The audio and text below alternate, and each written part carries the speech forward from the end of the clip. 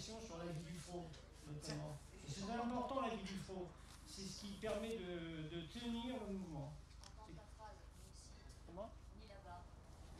Oui, de toute façon, ça rejoint ce que disait tout à l'heure Laurent. Dit, ça a été dit. dit euh, c'est vrai que, et moi j'y tiens, personnellement j'y tiens énormément, c'est vrai que je veux les voir partir, mais surtout qu'ils n'aillent pas ailleurs. Alors il y a le fameux leitmotiv, ni ici, ni ailleurs, mais autrement.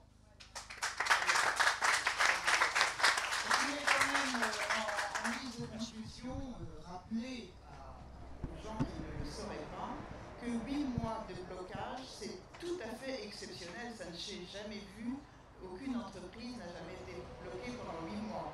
Et j'ai bien l'impression que si ça devait durer euh, un peu plus que 8 mois, et même beaucoup plus que 8 mois, cela ne va pas les arrêter, et je pense qu'ils ne sont pas prêts à, à, lâcher. Ils ont fait un, un boulot formidable pendant 8 mois, et je crois que chaque jour euh, qui passe, ils ont encore plus envie de rester jusqu'à que la solution qu'ils envisagent soit obtenue.